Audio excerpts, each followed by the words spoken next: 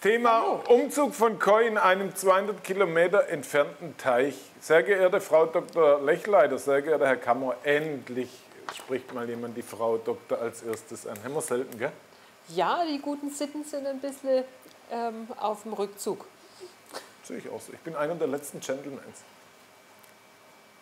Was hast du gerade gedacht? Sag ich Sandra, nicht. ich kann Gedanken lesen. Sag ich nicht. Wir haben 2018 einen Koi-Teich gebaut. Den kompletten Teichbau haben wir nach Ihren Vorgaben, Modern Koi Block, gebaut. Danke für die zahlreichen und lehrreichen Blocks. Der Teich funktioniert fantastisch und wir wollen, da ein Umzug ansteht, den gleichen Teich nochmals bauen. Der neue Teich befindet sich circa drei Fahrstunden von unserem jetzigen Wohnort entfernt. Nun zu meiner Frage. Wie bringen wir die Koi am besten über den Highway? Unsere Vorstellung wäre, die Koi in einen 1000 Liter IBC-Behälter mit entsprechender Belüftung zu packen. In Japan wird das ja beim Abfischen auch so gehandhabt. Ich muss eine kleine sauwitzige Geschichte erzählen. Der wäre in der Bildzeitung gekommen, ich, ich schwöre. Ähm, was ist Ihre Meinung dazu? Die Blogs mit Frau Dr. Lechleiter finden wir sehr lehrreich und interessant. Danke. Auch hierfür vielen herzlichen Dank. Es wäre aber auch schön, wenn Sie, sich auch, wenn Sie sie auch ausreden lassen würden. Mache ich nicht. Im Voraus vielen Dank für das Beantworten unserer Frage. Mit freundlichen Grüßen aus der Pfalz, Andreas und Katja. Mache ich wirklich nicht. Wir reden so, wie wir reden. Im Büro, wenn wir uns über Politik, über Pandemie, über sonst irgendwas geht es genauso. Vom Hundertsten ins Tausendste. So, vom genau. Haarschneide aufs Hecke schneide. Und es ist ja auch nicht unhöflich, wenn ich Sie unterbreche. Ich bewahre Sie nur davor, was Falsches zu sagen. Jetzt gehen hier die, die Mails. Ich, ich, meine Mailadresse ist abgemeldet. at konische-koi.com gibt es nicht mehr. Jetzt mal zurück Das hier. ist einfach, wie es ist. Ich bin, wie ich bin und dann einfach nicht angucken. Ja, ist so. Was soll ich sagen? Ich kann jetzt nicht noch... da Nein, ich einen ihm ja auch nicht übel. Nein, Also- ich habe ich hab Sandra da oft drauf angesprochen und auch andere Leute. Der eine empfindet die es so, die nur andere... nicht gehört. Ja, ab und zu. Das, also wir kriegen dann nicht mehr als Nein. zwei, drei Beschwerden am Tag. Alles gut, alles gut. Nein, Es das kommt nicht- alle Vierteljahr mal. Das, vielleicht so haben wir jetzt da mal lustig drüber geredet. So, Genau. soll ich erst die Umzug witzige Geschichte erzählen? Ja, erzähl mal deine witzige Geschichte.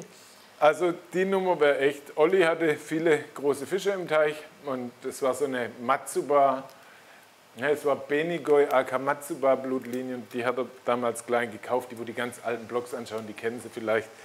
Und irgendwann ähm, hat er davon so 15 Stück, die waren aber wirklich 75 Zentimeter und größer. Und dann hat er mich angerufen, ja, ich habe die jetzt verkauft, die haben einen Kumpel, da, da, da, da, und die haben brutal Chemie gekriegt und so. Und bei dem ist ein Fisch einfach groß, ein bisschen bunt und legt nicht Wert drauf, ähm, dass die wunderschön sind. Der holt die am Sonntag ab. Ich sag, ja, und? Äh, ja, wegen Cashern und Fangen und so, und ist das okay für dich? Sage ich, ja. Und, und wie? Ja, der kommt mit dem Fischtransportbehälter. Und dann komme ich da hin. Jetzt hat er wirklich auf so ein Pickup, da, wie heißen diese VW-Teile da? Weiß nicht. Äh, ähm, Amarok, ja, also diese Pickup-Teile, hat er einfach einen IBC-Behälter draufgestellt, hat einen Deckel oben abgeschnitten, hat Wasser bei sich zu Hause reingefüllt, da hat aber schon so viel gefehlt, als er dann die 10 Kilometer gefahren war, dass da nicht mehr gefehlt hat, war gerade ein Wunder. Und dann sage ich, und wo ist eine Abdeckung? Dann sage ich, für was Abdeckung? Braucht doch kein Mensch.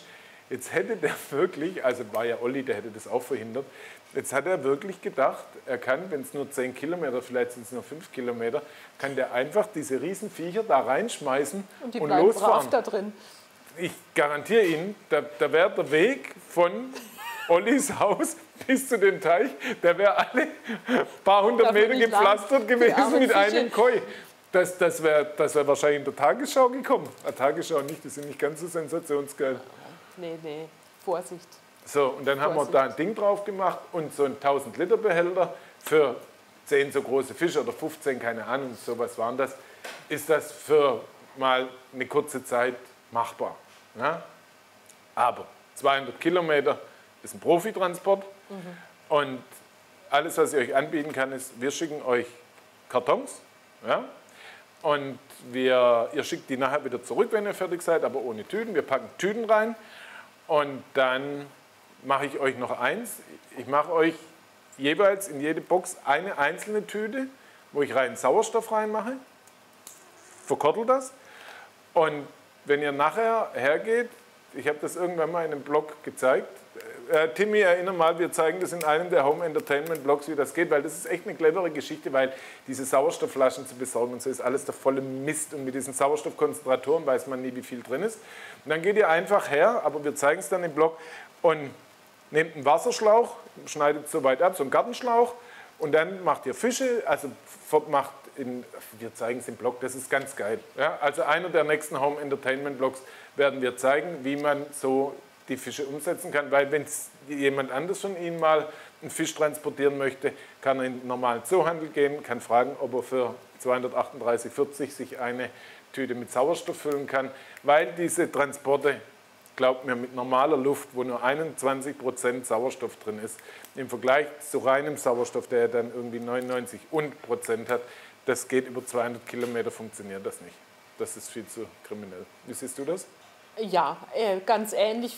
Ein wichtiger Hinweis ist vielleicht auch noch, dass man die Tiere wirklich ein paar Tage vorher mal nüchtert, dass sie möglichst leer auf den Transport gehen, ist auf jeden Fall ähm, eine Hilfe und auch die Wassertemperatur spielt eine Rolle. Wenn man das zu einer Zeit macht, wo das Wasser noch relativ kühl ist, hat man den Vorteil, dass sich eben mehr Sauerstoff bindet. Das wäre dann eben wichtig. Und die Fische auch weniger brauchen. Aber Entschuldigung, ich habe dich jetzt unterbrochen. Nein, Nein es ähm, wäre natürlich, ähm, wenn man jetzt diese Sauerstofflösung nicht anstrebt, auch mit Luft etwas einfacher zu transportieren. Je wärmer es wird, umso wichtiger wird es, reinen Sauerstoff zu verwenden. Genau, und diese mit entsprechender Belüftung, bla bla bla, bei der Belüftung sage ich euch, da seid ihr nämlich genau, ähm, A, wie wollt ihr die Belüftung machen? Mit so einem Zigarettenanzünderteilchen. Ja. Die Belüftung, verspreche ich euch, ist ein Riesenrisiko. Die geht euch nach genau 50 Kilometer, geht euch die kaputt. Und dann könnt ihr überlegen, fahre ich zurück oder fahre ich wieder hin. Und wir manchmal schon, was glauben Sie, warum wir bei unseren Messwannen hier mit reinem Sauerstoff arbeiten und nicht mit Belüftung? Weil wenn da mal 5, 6, 7 Fische in der Wanne sind und dann 20 Grad, der Sauerstoffwert geht, wumm, geht so nach unten. Da erschreckt man zu Tode. Ähm, von daher macht es mit professionellen Kartons. Ihr habt nicht reingeschrieben, wie viel. Geschlossenes System ist immer besser als offenes System für den Fischtransport. Absolut. Und, und ihr könnt vor allem auch mal zehn Stunden im Stau stehen. Eben. Und da in diesen Kartons überleben die Fische über 48 Stunden. Stunden von Japan hierher.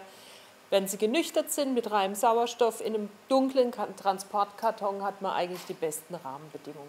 Wir hatten mal ein Shipment aus Japan und das war das erste Mal, dass der Lkw-Fahrer wegen irgendeiner Stauwarnung ist der nicht über Mannheim hier runtergefahren, sondern über Würzburg, was man mal machen kann, ist zwar ein bisschen weiter.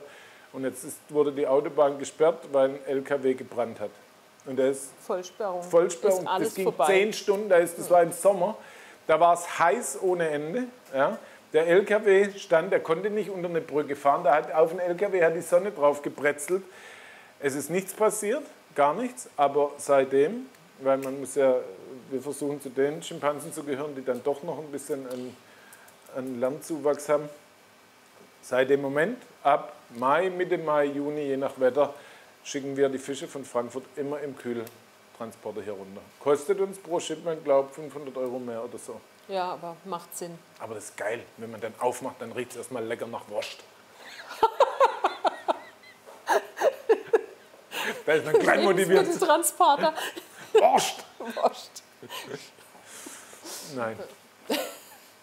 Also, man sieht auch, das mit dem Transport ist nicht so einfach. Ich würde mir das auf jeden Fall absichern. Und Sandra hat natürlich recht, kühle Temperaturen macht die Fische ruhiger, den Sauerstoffkonsum, der Verbrauch der Fische geringer. Das Wasser kann gleichzeitig mehr Sauerstoff lösen. Also ist die Summe aller Vorteile. Und so.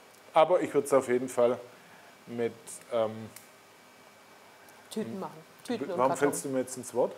Einfach um mal zu zeigen, das dass ich das auch doch. kann. Ich, ich, ich werde werd immer angemacht wegen dir und, und du, du hast jetzt wieder Sonderrechte. Wir reden, wenn die Kamera aus ist, Fräulein. Bis dann, ciao. Tschüss.